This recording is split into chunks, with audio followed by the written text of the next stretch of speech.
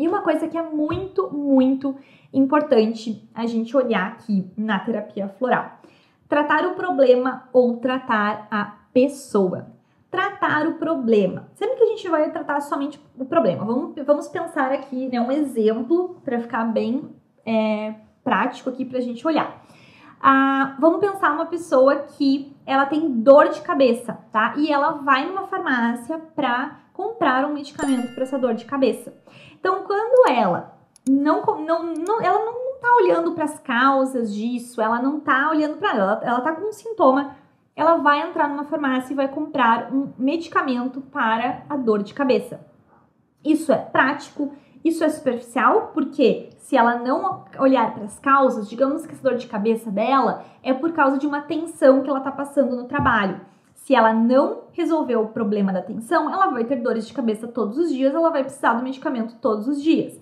Então, é prático, é superficial e não age nas causas. Para algumas situações, né, de emergência, claro que a gente vai tomar um medicamento para dor de cabeça, mas se eu não olhar para as causas, eu vou ficar refém desse medicamento todos os dias.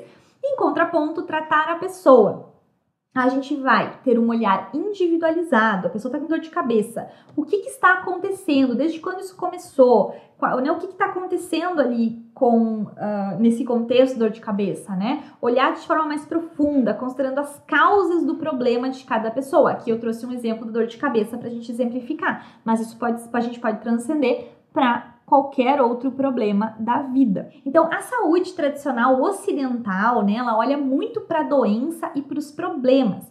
Então, quando a gente vai comprar um medicamento para aliviar um problema numa farmácia, por exemplo, a gente não vai escolher, a gente não vai lá buscar um medicamento para o nosso problema individual, né? É claro que dependendo, tem alguns tratamentos, é, dependendo, mas sempre considerando o sintoma, o problema, o caso clínico, né? A gente não, é, de modo geral, na saúde tradicional ocidental, a gente não vai olhar para o indivíduo. Quem olha para o indivíduo é a, a saúde integrativa, né? Todo esse contexto. Mas enfim, quando a gente vai entrar numa farmácia, a gente não vai comprar um, um medicamento para a inflamação que eu tenho. Você vai comprar um medicamento para inflamação que, que todas as outras pessoas que têm inflamação tomam, assim como alergia, ansiedade, né? E não é, você não vai é, olhar de forma individualizada esse tratamento. E essa forma de pensar, né, de você tratar o sintoma, de você tratar o problema, de você olhar para o corpo, né, para a máquina corpo, ao invés de olhar para o indivíduo que está dentro desse corpo, essa forma de pensar, ela se manteve entre as pessoas, chegando até mesmo na terapia floral, onde a gente encontra em grande parte das farmácias comerciais e lojas de produtos naturais fórmulas prontas para uso.